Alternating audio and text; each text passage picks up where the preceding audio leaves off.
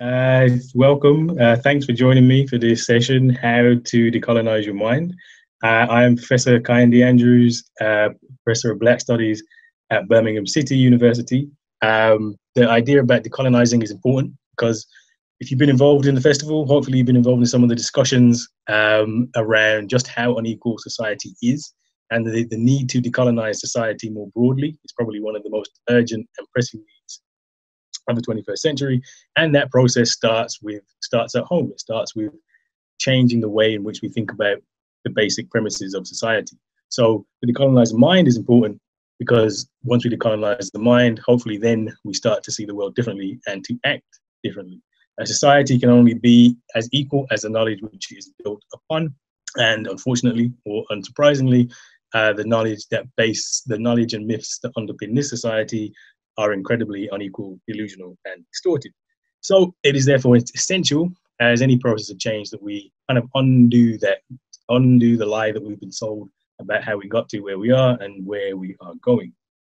So over the next half an hour, a little bit less than half an hour, I am going to uh, kind of give a, a path, a path to a different way of understanding things, which hopefully uh, will be uncomfortable, which hopefully will shake some of the foundations. And if not, maybe you know some of this stuff will hopefully allow you, give you a blueprint to sharing it uh, more broadly as well. All right, so how to decolonize your mind. First things first, really, it is about understanding the nature of the problem. And the nature of this particular problem is the lie. There's big lies that we've been sold to, um, the myths that underpin how we understand the world. And it is these it is these lies and these myths which uh, continue to mean that we can only understand the world in very distorted and problematic ways. So, in order to decolonize your mind, the first thing to do is to destabilize these myths, to debunk them. It's absolutely essential. So, the first part of doing that is understanding what the lie is. So, one of the, the way these kind of lies work, and I've kind of tried to put it in a circle, because it, it does revolve around the idea of revolution. And where we, and I've, I've heard this a number of times actually, this, this over this weekend with the, um, in the debates, this progress narrative. You know, the West is all about progress and it's about these massive revolutions in science, politics, and in industry. Uh, we are led to believe that the three pillars of the West are sci- the scientific revolution, the political revolution, and the industrial revolution. And it's those things which have, made progress and given us the technology where we are today. And that's not 100% untrue, right? Without science changing, moving away from religious explanations um, and rationality and you know the, the maths, physics, etc. Without that, we really couldn't have the te- well the technology that we're literally sitting on. We're doing this with would be would be impossible without science. So there is truth, some truth in the idea that Western science has been really important in terms of development. Uh, the same true is true with industry, right? Industry, the industrial revolution uh, in the 18th century onwards is seen to be one of the, the big moments of change where the science, uh, the, the science and rationality was put to use and put to work, changed how things were produced, allowed there to be plenty. If you think about what's the big difference now is that we just have so much stuff, so much material wealth, and that was produced by the Industrial Revolution, which started in you know Britain, Europe, and expanded out to the world. So again, there's there's truth to that. And then the third part of this of this myth is the political revolutions. So um, moving away from monarchies and being governed by heredity and having democracy, etc., etc., and this being really important because it gives us the frames of rights and and those frames of rights and the individual, etc., etc., etc.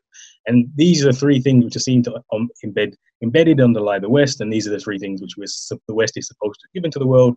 And if only everybody else could just catch up with science, industry, and politics, uh, wouldn't the world be a better place? Now, I say that's all partly true because it is part it is partly true. There is some truth to that, but there is a another side to this. None of these things, scientific revolution, industrial revolution, or political revolution, could have happened without some of the worst atrocities ever committed by humankind.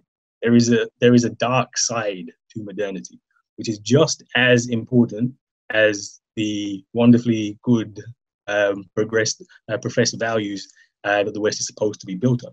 We, one of the first things we want to think about when decolonizing the mind is to shift the idea from these these so-called good West, so-called Western and so-called good values or British values that we say in the UK, and to understand that genocide, slavery, and colonialism are equally as important, if not more important, uh, than the, the than the good sides of Western development. So we're thinking about uh, decolonizing the mind, as a quote, I'm going to if you have heard me talk before, you definitely would have heard me use Malcolm X uh, references. Um, and Malcolm talks about the change which happens uh, when we hear a different telling of history, as like snow falling off a roof.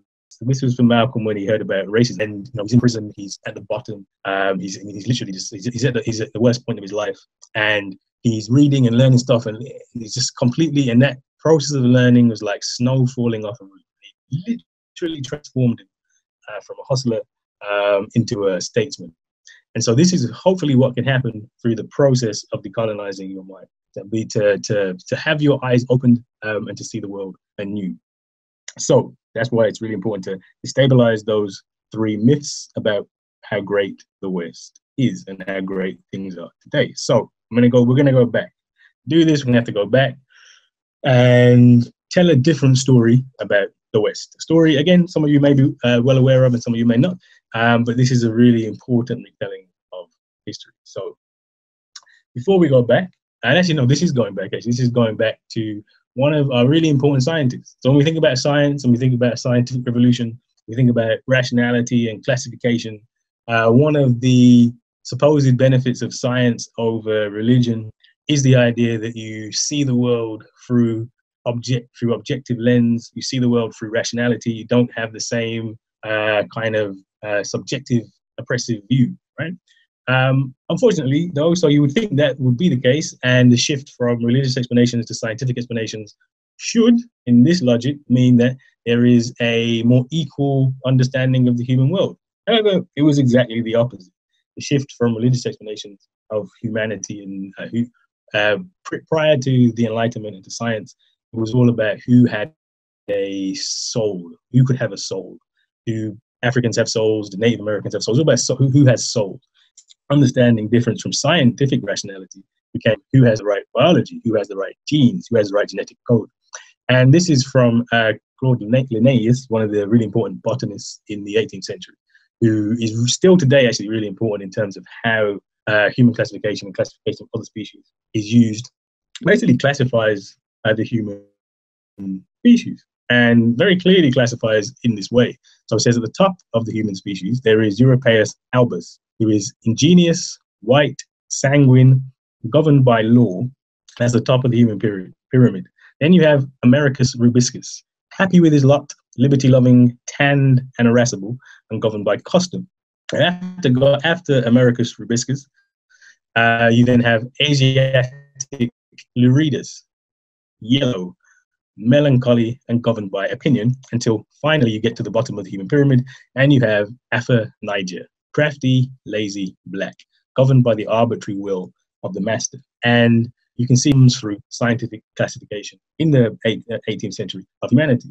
Now, I picked out Linnaeus because it's so clear and it's so color coded white, red, yellow, black uh, to show the hierarchy of humanity. But he's certainly not alone. Immanuel Kant, Voltaire, uh, Rousseau, um, everybody. I mean, all the basically all the Enlightenment thinkers. Read any of them, and they had a similar. Sometimes the, the order dif- differed in between, but white at the top, black at the bottom.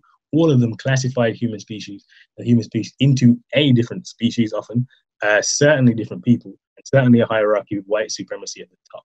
The idea being here that only white people can think, only white people can be rational, and Africans are far closer to to um, animals. Well, actually, not even far closer to animals. In many of these, are actually just animals. This is what becomes discussing up to date in this um, program. We've had this, you know, about the human rights element, the rationality element, all these positive things that come from the Enlightenment. However, you can't separate them from the racial science of the Enlightenment. Um, because someone like Kant, for example, who's really important in terms of rights and actually lays the framework for human rights that we have today, uh, makes it very clear that actually his work on race, which is just classic racism, his work on rights cannot be separated. Only Europeans, only white people have the ability to be fully rational. And to some extent, you should give rights to everybody in the world, but they should not be the same rights. So the right to life, which is embedded in the human rights framework, is the basic. I mean, animals have the right to life. This does not give you the right to fulfillment and, and humanity. And that right of humanity has never been granted to those who are black. So this is a really important point to make, right? Now, it's not just a philosophical point. This is not just a discussion about, uh, well, you know, are there different ways that we can conceive, uh, conceive of the human, etc., etc., etc. This actually is what global inequality looks like today.